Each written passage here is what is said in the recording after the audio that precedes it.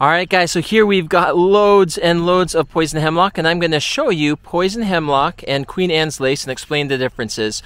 Okay, so here is poison hemlock. You can see that there are these white flowers that are kind of spreading out. They're not all in one big bunch.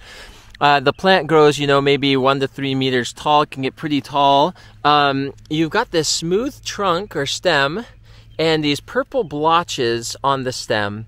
That's a very defining characteristic.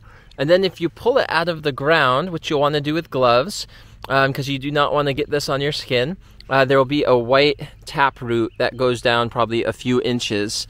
So that is what poison hemlock looks like.